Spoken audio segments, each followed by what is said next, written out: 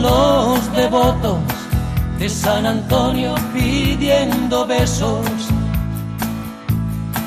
Ponme la mano aquí, Macorina, rezan tus fieles por las cantinas, paloma negra de los excesos. Por el bulevar de los sueños rotos, moja una lágrima, antiguas fotos y una canción se burla del miedo. Las amarguras no son amargas cuando las canta Chabela Vargas y las escribe un tal José Alfredo. ¿Cómo les va? Buenas noches. ¿Cuántas historias alrededor de ese micrófono? Los que hemos abrazado esta profesión con tantísimo cariño, con tantísima pasión, dejando de lado muchísimas cosas, eh, sabemos lo que eso significa. Y si alguna vez nos dieron la posibilidad eh, de hacer radio, los que sabíamos que esa era nuestra vocación, tocábamos el cielo con las manos.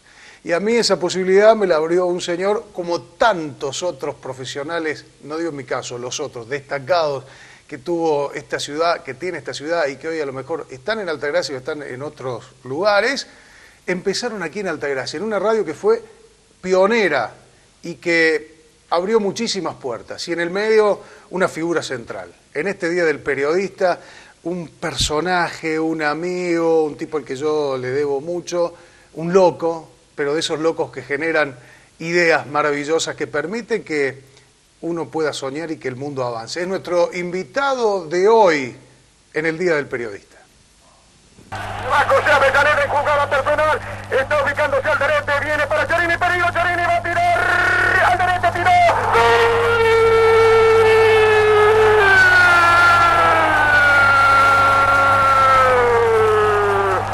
El maestro Rubén Torri relataba en la radio y él lo escuchaba y soñaba también con ser relator. Lo imitaba con una lata de duraznos como improvisado micrófono. Luis Luque empezó en la radio de grande, a los 30 años.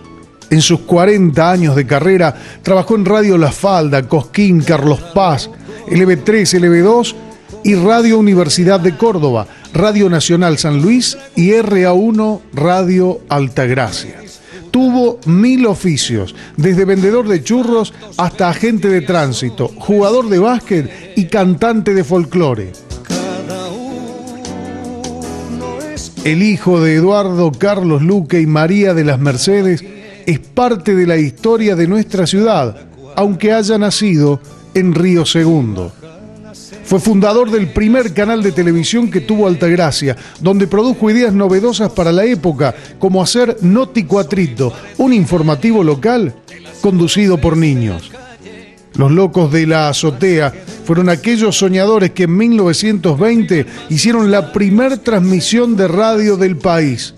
Luis Luque es uno de esos locos por eso, durante mucho tiempo, su tarjeta de presentación de su histórica Radio Altagracia decía, una institución de locos soñadores.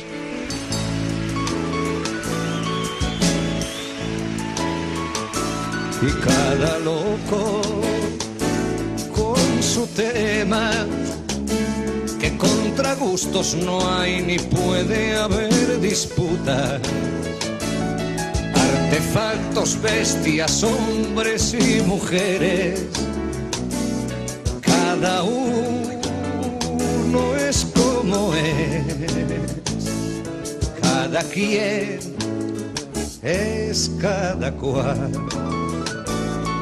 Y baja las escaleras como quiere, pero puestos a escoger, prefiero me emociono más yo que vos. Qué gusto verte, querido maestro. ¿Cómo estás? Me ha pegado feo, te digo. Pero no, no, no, es, para que, no, como un golpe bajo, sino para que, si viene la emoción que venga, Luis, eh, hicimos un repaso ahí de tu vida y la idea también es conocerte, porque conocemos tu actividad en la radio, por eso nos, nos preocupamos saber quién era tu papá y tu mamá, que ahí los vimos y sos de Río Segundo, no sos de Altagracia, a pesar de que sos un nombre eh, No, yo, eh, relacionado con Altagracia.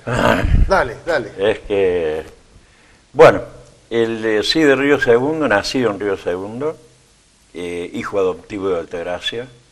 Así que mi mamá me parió en Río Segundo y Altagracia me parió en Altagracia. Yo el- la fortuna vine muerto de hambre, pero muerto de hambre mal, uno dice por ahí. ¿Pasaste hambre, Una Luis? forma de decir muerto de hambre. No, No. no, nunca pasé hambre, pues siempre encontré un hueso para roer. Es decir, eh, no era de los que se quedaban esperando a ver lo mal que me iba. No me tuve lástima. No me tuve lástima nunca. eh, ¿Y eso de eh, quién, de quién lo aprendiste, Luis? Digo, ¿lo viste en tu papá, en tu mamá, en alguien o sabías que había que salir a ganarse el peso todos los días? Y mis viejos, vos sé que eh, mi infancia no, mi infancia, infancia, primera infancia, no fue muy agradable. Es decir, mis viejos tipos de campo, hombres rudos, mi mamá especialmente, ¿no? Mi papá no, mi mamá sí era muy ruda, muy ruda con, con nosotros y yo que soy el más chico, eh, especialmente. Entonces ella me mandaba, siempre lo cuento, ¿no? Eh, como una anécdota que me quedó en el tiempo, ella mandaba a preguntar por el Tata, eh, vos los conocés, Sí, a claro. Eduardo, Eduardo Luque, El arquitecto, el, arquite- el ingeniero. ingeniero. El ingeniero. Y este, él le mandaba a preguntar cómo se había portado el negrito, porque a mí todo el mundo me conoce por negro, el negro Luque, en el barrio, este, el negrito. Y claro, él iba al colegio preguntaba, ¿cómo se portó el negrito? Mal. Siempre mal, siempre mal. Y no sé qué tenía, eh, no sé, hiperkinético, pero no era, no era de mala entraña. Era... De inquieto, de travieso. Sí, sí, la, la mente mía siempre fue delante de mí. Porque, por ejemplo, tu hermano, ya que lo nombraste el Tata, Sí. es, es lo contrario. Totalmente, no, ese era el ídolo de la familia. Y creo que el Julio, tu otro hermano, me parece que también, ¿no? Pero Julio era, era de media agua, era un tipo que siempre pasé desapercibido y demás. Cuando, cuando llegamos a LB13, eh, con Julio costó un montón de que entrara o que fuera a ofrecerle al primer cliente publicidad. Le cuento a la gente que Julio era Ahora el sí. productor de Noches del Básquetbol, eh, aquel recordado programa que lo tenía a Luis como, como relator. Ya vamos a llegar a esa parte. Sí. Pero, háblame de tu papá, Luis. Eduardo. Eduardo, ¿Qué mi hacía viejo, mi viejo de Río Segundo, según cuentan la quintita, la estancita y demás, la, casi la mitad de Río Segundo era de los Luques. Eh, e incluso hasta un pueblo que se llama Luque eh, estaba, éramos mayoría como los Moreches en Altagracia Claro. en aquella época. Y este y mi viejo era un, hom- un hombre de campo, un hombre rudo, un hombre trabajador, pero de un enorme corazón. Mi viejo nunca me dio un consejo. Mi viejo siempre me enseñó con su ejemplo. Él no, no necesitaba palabras, él tenía hechos. Y mi vieja, bueno, eh, mi vieja hija natural, quien yo creí que era este, mi tía, después era mi abuela, en aquellos años no se permitía, ¿viste? Así se escondía, digamos, la maternidad. Es decir, era una vergüenza para la sociedad la maternidad. Bueno, y mi vieja este, nace así, como hija natural, la recoge la familia de mi padre, eh, se enamora inmediatamente, le llevaba 11 años mi papá, y a los 15 años se casan. Ella tenía 14, 15 años se casó. Y este, por eso mi mamá era María de las Mercedes Luque de Luque. De Luque. Claro, en aquella época cuando iba a la policía a hacer algún documento me decía apellido del papá, Luque, de la mamá, Luque. No, eh, de la mamá, Luque. No, no, disculpe, es Luque de Luque. Luque de Luque. ¿Qué quiere que haga? Luque de Luque. Y bueno, y ahí arrancó Sí, la Luis, ¿y historia. cómo ¿no? vivieron en esa foto maravillosa que pusimos en el informe? Cuando, cuando vos salías en LB3, relatabas, te fuiste al Mundial, ¿tu- ¿tus viejos cómo, cómo vivieron eso? Mira, yo me acuerdo que mi papá me fue, porque mm, afortunadamente tuve la suerte de jugar bien al básquet. Y este, va a jugar bien para la época, ¿no? Y demás. Y Sí, fuiste preseleccionado argentino y seleccionado cordobés. Estuve en la selección de Córdoba como 6, 7 años, Marcelito Faría, que nos, nos está viendo seguro porque es fanático tuyo. Y Este, tuyo. Se debe acordar, sí, no, yo de él y de él. Marcelo, el mariscal, el mariscal le decía un tipo este, bien plantado, un tipo elegante, fue uno de los jugadores más elegantes que yo conocí en mi vida. Marcelo era, era un tipo erguido, él corría que hasta parecía compadrito, pero era de elegante que era el mariscal. Y este, él tiraba y se volvía. Es decir, Ya no, sabía no- que iba adentro. No esperaba que la pelota y- llegara. Perdón, ya te quiero preguntar algo de eso, pero me ibas a decir algo de tu papá. Vos jugabas al básquet, Sí, lo habré visto dos veces en la cancha, mi viejo. no, no te iba a ver. No, y eso que éramos tres hermanos, porque Tata, Julio y yo en, en Los Cóndores, en el pasaje Monte Carmelo en Córdoba, el Club Social y Deportivo Los Cóndores, donde salieron tantos jugadores extraordinarios, este, lo habré visto una o dos veces y cuando yo lo veía, él estaba siempre parado, todavía tengo la imagen de él, ¿no? Siempre parado arriba de una escalerita, con las manos en los bolsillos, ¿viste? Así mirando. Y un orgullo que yo tenía que mi viejo me había ido a ver. Oh, nada más y nada menos que mi viejo, que eh, éramos tres hermanos que jugábamos titulares, porque jugábamos los tres, Claro. era el, el equipo de los Luques. ¿Y, te, te este, decía algo alguna vez? no, no. ¿Hacía alguna referencia? No, no, no, no, nunca, nunca, nunca me dijo nada. Nunca, ni jugaste bien, jugaste mal. Yo salí goleador en dos o tres temporadas, por ejemplo, eh, y nunca me dijo, che, bien. No, no, no, no. Sí, Luis, ¿y eh, de carácter cómo era tu papá? ¿Así era parecido como vos, así de buen humor, siempre dicharachero o era más? Era un fenómeno, mi viejo. Mi viejo era un tipo puro corazón. Era puro corazón. Un tipo que mm, yo lo que recuerdo de él, no, no, no era como yo. Yo creo que en mi familia nadie era como yo. Eh, yo salí más dicharachero. eh, eh, ¿Están viendo los chicos ahora? Eh, lo, mándenlos a dormir por las dudas. Bien. Me echaron de todos los colegios. Y me echaban por porque bandido. Era No, por también- bandido. y también te echaban de la cancha cuando jugabas al básquet. Siempre. ¿Marcelo Faria te pegó una cachetada una vez? No, yo le pellizqué, le tiré los pelos de la pierna una vuelta. Él, él en esa época ya había dejado juniors, yo estaba jugando en el Seibo. Yo llegué después que era junior. A mí me llevó este Hugo Roberto Lariaga, el chupete Lariaga me llevó. Como se retiraba el Hugo, entonces le preguntaron, che, nos hace falta un base para... Bueno, ¿Olariaga reemplazar- no era el mono? ¿Eh? ¿El mono no era Ola- Olariaga? El mono, el mono Hugo. Roberto Lariaga. Y este, Perdón, me lo- chupete también le. Claro, ¿eh? me, me lo encontré en Cura Brochero y Claro, se a saludar y yo, le pregunté, y yo le dije que era amigo tuyo. Sí, Oh, oh, me dijo. ¿Te cobró? No, no, no, bueno. te recordaba. Y este y él sí ahora vende golosinas y más vendía, trabajó en aspecto a la vida. Claro, exactamente. Y vos sabés que... ¿Y, me- eh, y qué te decía de Marcelo? Yo te interrumpí, yo algo me iba a decir Marcelo. no, no, te digo, y me lleva Junior, después se va. Y después con Marcelo le jugaba en la Asociación Española, la última parte de su vida, y yo jugaba en el Seibo, un equipo de, de, de la B, ¿no? Porque ya empezábamos a, declinar. Y estábamos en la cancha de la Asociación Española y íbamos tanto a tanto, y Marcelo en un tiempo no se lo podía parar. Y bueno, y me toca marcarlo a él, y Marcelo tenía la costumbre de ponerte el codo en el pecho, ¿viste? Así para que uno te arrimara. Bueno, y, un- y una vez pasamos por abajo del aro ya. este, son, son esos rebusques que uno tiene, pero de buena onda. Y le tiré los pelos de acá de la, de la pierna. ¡Oh! me- Así me tiró una cachetada. Marcelo justo estaba el árbitro al lado nuestro. Así que lo echaron de la cancha. Me miraba el árbitro y le decía, ¿viste cómo hacen ahora los sí, jugadores? Sí, sí, sí. ¿Qué me- qué Yo. me co- Che, Luis, y cuando estábamos en la niñez, ¿en esa época vos pensabas qué ibas a hacer? ¿Cuál era tu vocación? ¿Soñabas con algo? Lo de la radio todavía no había aparecido porque vos mismo me contaste que empezaste de grande, pero Sí. eh, ¿soñabas con alguna vocación? Sí, ser actor. Quería ser artista, mira la facha que tengo. No, en serio, eh, quería ser artista y yo me ponía, me acuerdo, en el baño de casa teníamos un espejo grande y yo este, leía, ¿viste? ahí decía poemas, decía poesía. Es más, me faltan dos materias para la licenciatura en arte escénico del Teatro Riverín de Arte. Yo me recibí en el curso de la Yoliri Bois, en aquella época la profesora del Teatro Riverín de Arte. Actualmente tengo un compañero que siempre venía a Altagracia que está en, está en Ámsterdam, en este momento uno de los más conocidos y famosos artistas del cine, que es Pablito Greppi. Y un tiempo nos, nos carteamos a cada rato, nos hablábamos cada rato, porque nacimos de la misma de la misma cuna. Y yo quería ser artista, y más la maestra siempre me hacía leer las poesías, los poemas, y más me los hacían leer a mí. Entonces, y, y los campeonatos, por ejemplo, yo le acompañaba a Ana María, este, mi primera señora, y la acompañaba porque ella también juega al básquet. Y jugaba muy bien. la Muy bien la gringa, muy bien, un número 10 espectacular. Andaban todos atrás de la gringa, te digo, ¿no? Sí, sí, Así sí. que yo tenía que andar. y este, y íbamos a la cancha y yo siempre tenía, llevaba un tarrito, un tarrito de tomate. Sí. ¿Viste eso, eso Como dijimos que lo imitabas a Torri con el- la lata de durazno. Ah, sí, seguro. y vos ibas con el, la, la latita. Iba con la lata y decía- y este, bueno, parecía vendedor de quinelas yo, porque yo le decía, el 1 será el 2, el 2 el 3, el 4 el 5, va el 6, tiró el 7 doble, decía, ¿viste?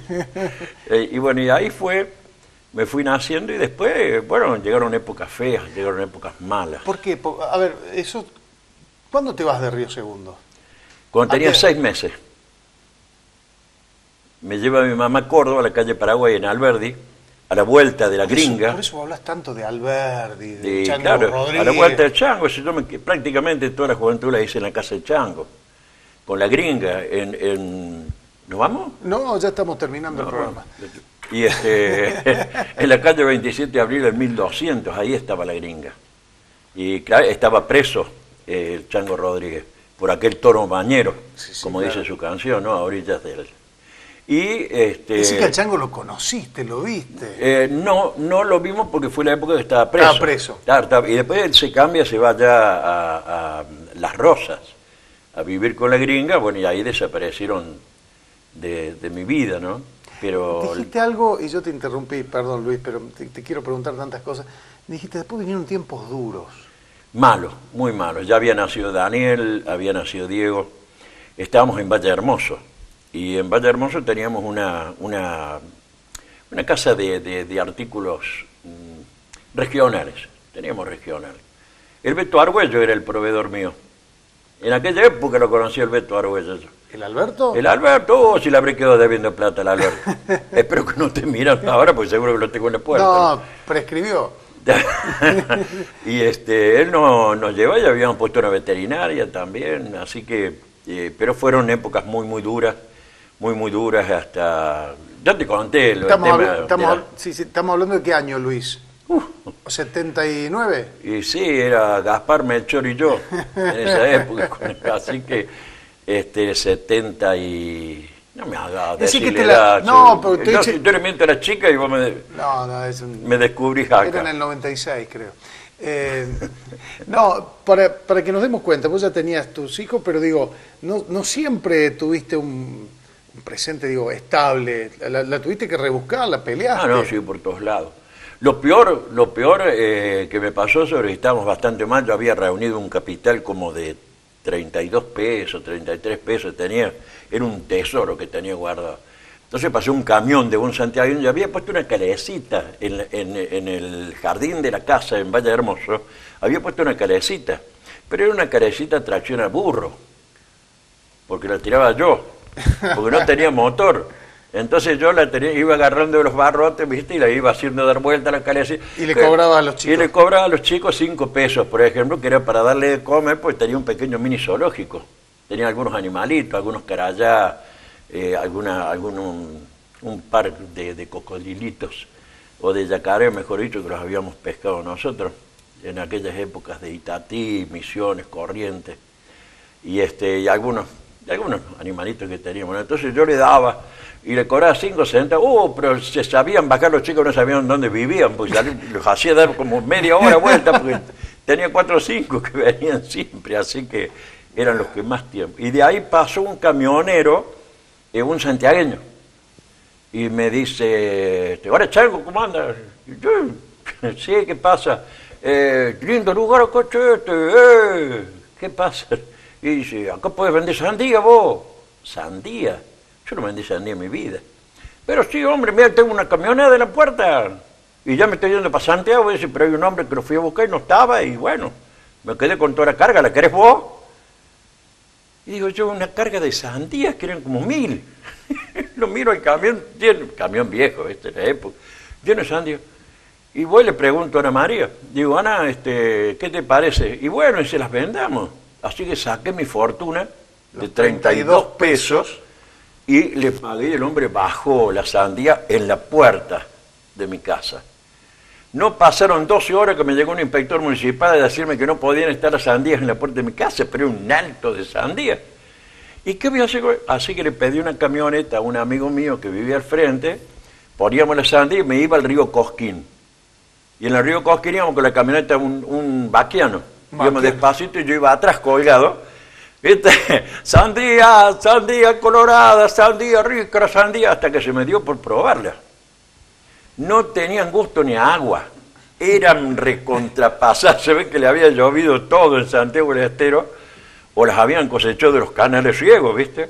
Y este, daban, pero lástima, comerle a uno, se las daba a las gallinas me daban la espalda. Las gallinas que tenía en mi Sí, casa sí. yo, ¿viste? Se las tiraba y me daban la espalda, las gallinas no me hablaban por tres o cuatro días, no cacareaban más. Que el entonces- camionero contó en Santiago del Estero, finalmente vendí esas sandías que no se las podíamos Sí. vender. Y sí, se la vendió un girún en Córdoba, esto que se creen vivo. Y vos sabés que eh, cometí un deslito. Confesalo, Luis, porque hoy está todo permitido. No, qué sé yo. Por favor, primer plano al señor Luis Luque, que hoy lo va a no, contar. no, no, porque me, ¿Qué hiciste? eh, me fui a una verdulería. Sí. Eh, había una, una de esas rayadas santiagueñas también que uno sabe que son, como decimos los cordobeses, ricasa, ¿viste? Pero de esas que te, te hacen entrecerrar los ojos de almíbar, ¿viste? Y este, entonces agarré y le... La calaste. No, no, me contalo, que lo contalo, me da vergüenza, me da había, vergüenza. había hambre, Luis, habías invertido los 32 Bueno, pero acuérdense de eso los televidentes, Claro. había hambre, Claro. ¿no? Fue una necesidad. Necesidad urgencia, Urgencia. diría Menem. Necesidad y urgencia. Bueno, y este, lo corté en triangulito y a la sandía que tenía yo también le saqué el triangulito. Es decir, poníamos... Hiciste un cambio. Claro, porque eran iguales, porque eran rayadas también, nada más que una eran buenas y la otra no. Entonces poníamos, toda colorada, pruébela, calada, calada, decía en aquella época, ¿viste? Calada y, calada y colorada. Calada. Entonces yo pinchaba el triangulito ese, ti, ti, ti, le pasaba a pinchar, se lo hacía probar. Mmm, bájame cuatro o cinco. y le decía, mío. Eran épocas, reiteramos, que eran épocas difíciles. duras. Muy, Eh, muy duras. Y después hice churros, puse churros. Chocolate pesado. Eh, hacía, y el chocolate pesado. Eh, ¿Me lo contás en un ratito? Pero, claro sí. En el próximo bloque vamos a ir a Luis Luque, vendedor de churros. ¿Y cómo llega desde Punilla? ¿Cómo llega a Altagracia? Yo sé hasta la vestimenta que trajo Luis Luque. Él lo sabe, yo sé, hemos investigado esto. Y cómo nace esta RA1 Radio Altagracia maravillosa que yo quiero que me llamen aquellos que tenían el cajoncito en su casa. Lo que yo le insistí a mi viejo, a quien vos conociste, Luis, eh, para que me conecte Radio Altagracia, como que hoy te conectaran el cable o DirecTV Netflix, no sé. Y finalmente un día cayeron los técnicos a casa, conectaron el cajoncito con una sola perilla que era encendido y volumen. Y yo escuchaba radio hecha por gente de Altagracia. Ideas de Luis. ¿Usted tenía el cajoncito? ¿Usted escuchaba la radio a cajoncito? Llámenos y cuéntenos su experiencia. Hoy con Luis Luque en el Día del Periodista, Días de Radio, pero para conocerle la historia, su propia historia, a Luis, que es un auténtico pionero en nuestra ciudad. I heard you wireless back in 52. Lying awake intently tuning in on you. If I was young, it didn't stop you coming through.